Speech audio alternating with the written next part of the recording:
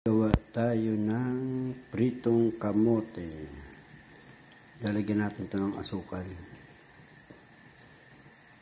Gagawin natin pang merienda. Oras na po natin nga pala ngayon mga katrabahador ay alas 4.45 ng hapon. Araw po ng linggo no? dito sa Italia. Okay?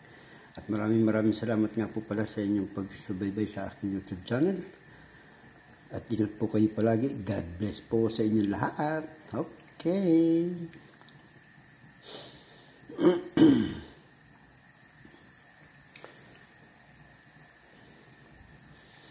Ayan, bali dalawa ang ating iluluto. Marami ito. Tsaka ito pa. Ayan. Nasa streamer.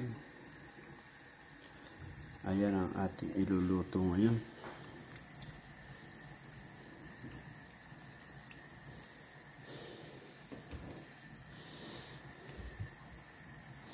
Kamote. Ayan ang ating kamoting kahoy.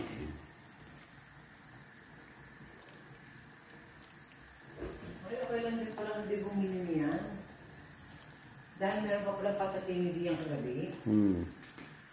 Stepacello. Dumi minuti lang. Tapos ikaw na gusto mo. Ba't gusto mo eh? Ba? Mita! Ah, 59 minuti. Ay, kalaban. Ayan ang ating kamote. Kamote Q. Okay, ayan ang kamote Q. Ito, napakarami pa nito. Kaya,